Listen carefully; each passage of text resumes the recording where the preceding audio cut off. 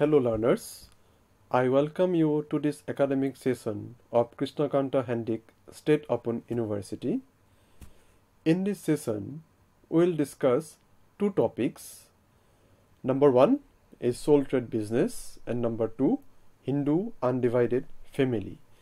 These two topics have been included in the first semester of BCom program in the course Business Organization and Business Ethics. Let us first start with sole trade business.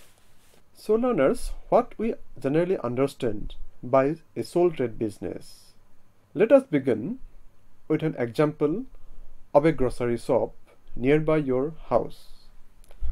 Or you may take the example of a bookstall or a mobile repairing center. If you have observed, these shops, whether it is a bookstall or a grocery shop, generally these are operated by a single person. When a business is operated by a single person, it is termed as sole trade business.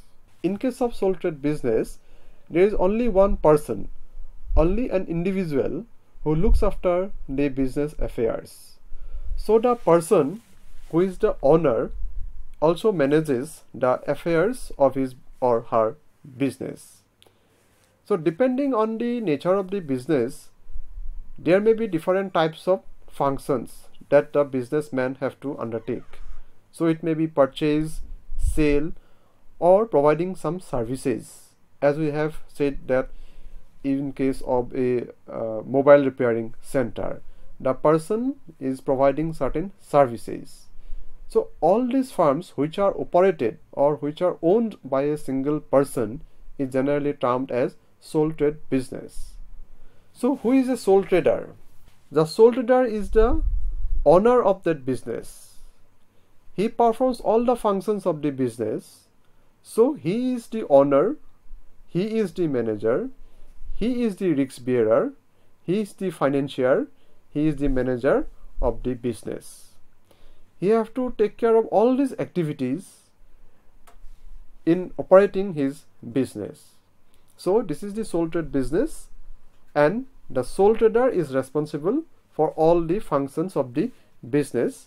So in case of managing a sole trade business, the sole trader Though he is a single individual, he may take the help of the employees.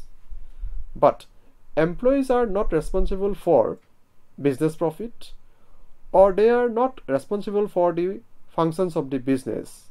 The ultimate responsibility of the sole trade business lies with the sole trader. So he takes the help of employees, but the ultimate responsibility rests with the sole trader for running the business. Now let us discuss certain features of sole trade business. This will give you more insight what a sole trade business is. Number one, no separate legal existence. It means the business, sole trade business, is not required to form under any act.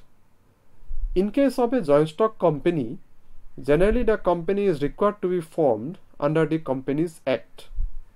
But in case of sole trade business, there is no such acts. A simple registration from the local bodies is enough to start the operation of the business. So we can differentiate the sole trade business and the sole trader from a legal point of view.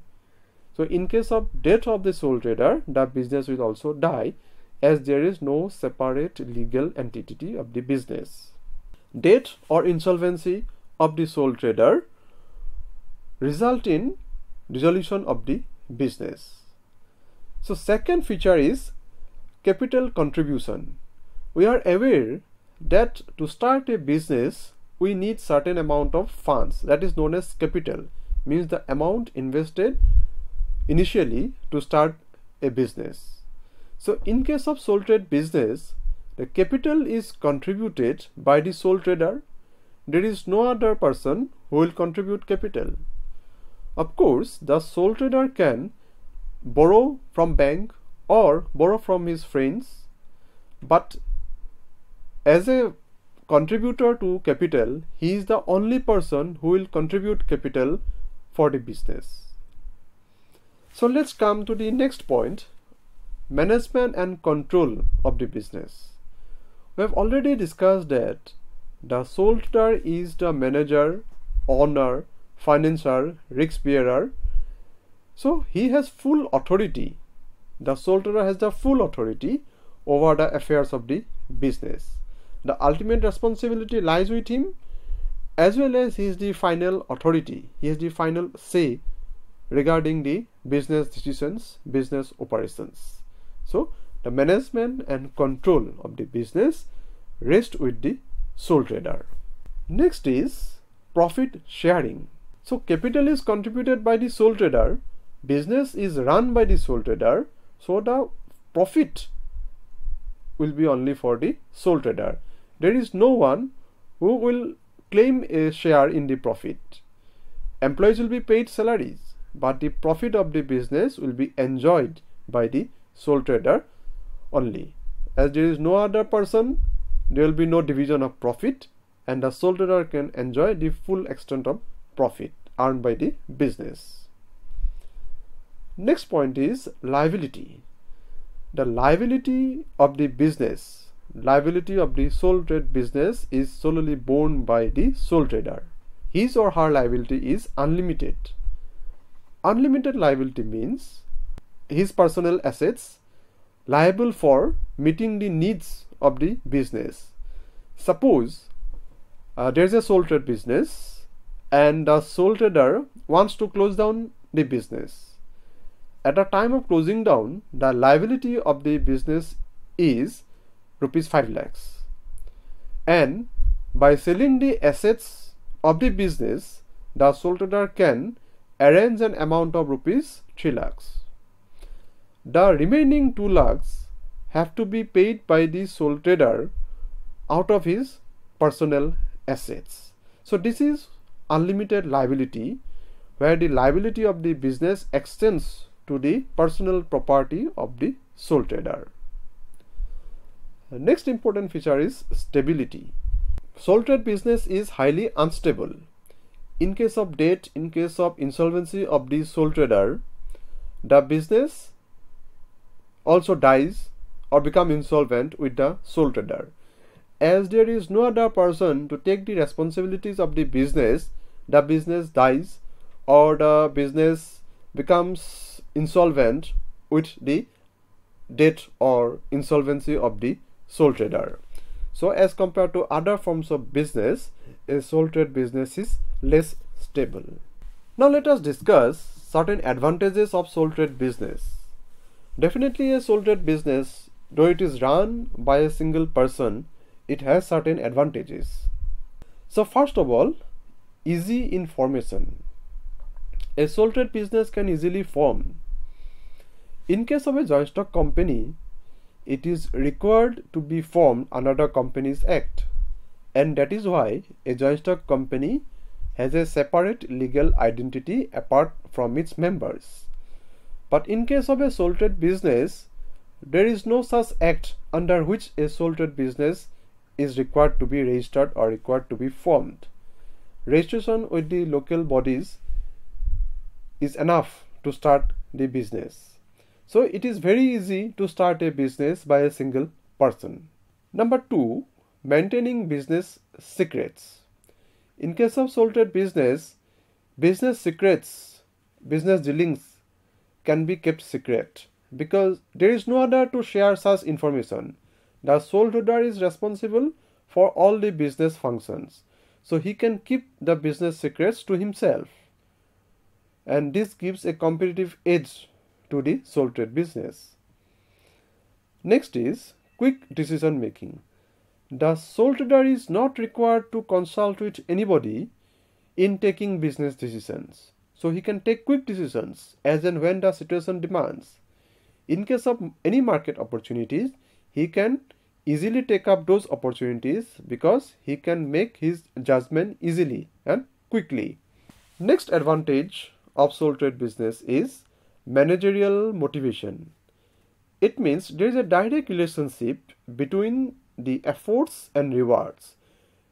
More you put your efforts in the business, more profits you will earn. So if you give more time, you have more energy, more finance, more managerial ability, then the sole trader will be able to earn more profit. So there is a motivation to earn profit and that motivation helps the sole trader to start and to run a sole trade business. Next is close relation between the customer and the sole trader. So the sole trader is the person who meet with the customers personally. He can understand customers' needs and accordingly he can formulate his own business policies to deal with his customer base. So he directly deals with the customer, he gets an idea about the customers and accordingly it helps in earning profit or increasing his sales revenue. Next is healthy relations with the employees. So if a sole trader appoints some employees to manage his business, he can maintain a close relationship with the employees. This helps the sole trader in motivating the employees and the employees will also look after the business and accordingly they can run the business unit successfully. Then economy in management. As we have discussed, the sole trader is not required to appoint or not required to take decision by consulting with others. The sole trader can manage his business and therefore he is not required to appoint a manager for which he have to pay salary. He himself is the manager. So in this way he can save some managerial expenses, some overhead cost by minimizing the payment of salaries. So as there is no manager, he the sole trader is himself is the manager so he saves the salary of the manager these are the certain advantages and on that basis some people st can start their own business. That is in the form of sole trade. However there are certain disadvantages also. So let us focus on the disadvantages of a sole trade business. First of all, it is the limited capital. As we have already discussed, the capital required to start a sole trade business is generally contributed by the sole trader himself. So there are certain limitations on the sources from which the sole trader can bring capital for the business. So this limits the capital contribution for the business. So with limited capital, limited amount of fund, the sole trader have to start his business. Then next one is limited managerial ability. The sole trader is the manager for his business. The sole trader is the financier of his business. Sole trader manages his employees. All these things are limited. A person cannot manage all the things efficiently business finance management of human resource marketing selling all these required expertise skill in business field. But as a sole trader the person concerned means the sole trader may have certain limitations. If the sole trader is unable to manage all the affairs of the business then it put restrictions on business success. Next disadvantage of sole trade business is high business risks. As we have already discussed, there is limited capital, limited managerial ability. The sole trader as a single person runs the business with high risks. Some business decisions that the sole trader has taken may prove wrong in due course of time. In that case, the business may suffer loss. Any unfortunate events in the market or suppose there is sudden fall in the demand of a particular product, then the sole trader may face loss due to loss of revenue of the business. Next limitation of the sole trade business is restrictions on business growth.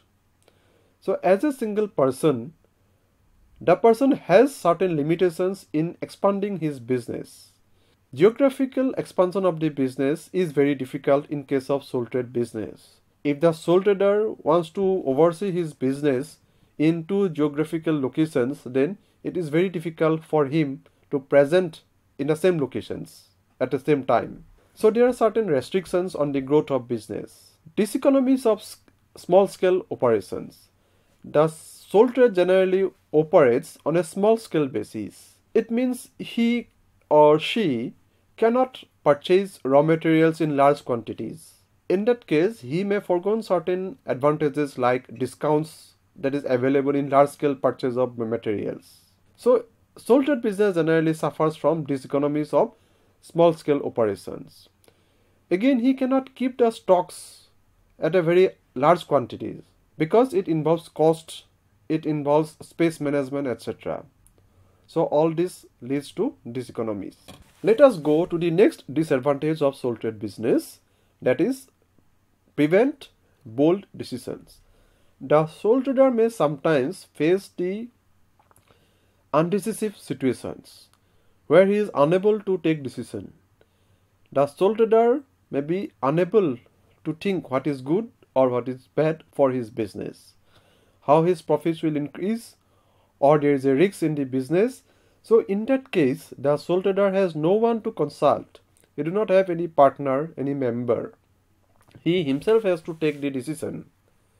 So, sometimes it prevents the sole trader to take certain business decisions. Next is threat of unlimited liability. This is the biggest disadvantage because the sole trader, if he takes certain business decisions and it proves to be wrong, then the liability rests with the sole trader. For business liabilities, the sole trader have to bring his own resources, own property to meet the liabilities of the business. This unlimited liability of the sole trader prevents sometimes to take certain business decisions as we have already discussed. So this is all about sole trade business. Here we have discussed the concept of sole trade business means a sole trade business is generally started by a single person. That person is known as sole trader. He is the owner, manager, risk bearer, financer of the business. We have discussed certain features of the business, sole trade business we have discussed the advantages and disadvantages of the sole trade business. So here we will begin the next topic that is joint Hindu family business. So this is another form of business organization. So let us first discuss certain important characteristics. A joint Hindu business family, this particular form of business prevails only in India. So you will not find this type of business organization in other countries. The members of a joint Hindu family are the family members of that family. And next important feature is that the joint Hindu family form of business is recognized by the Income Tax Act 1961. The next important feature is that it is controlled under the Hindu law, the Joint Hindu Succession Act 1956. And for a joint Hindu family business, it must have ancestral property. What is meant by ancestral property? It is undivided property passed from generation to generation. Let us suppose you are one of the member of a joint Hindu family business. In that case, the property on the basis of which you are running a joint Hindu family business, it must be undivided and it must pass from generation to generation. Suppose it's from your great grandfather then to your grandfather then to your father and then to you. So this is passing of the property undivided property from generation to generation. And now you are managing the undivided property in the form of joint hindu family business so let us focus certain other features of joint hindu family business Number one, formation. To form a joint Hindu family business, we require minimum two members. And the family must have ancestral property that we have discussed. Then it's membership. In case of joint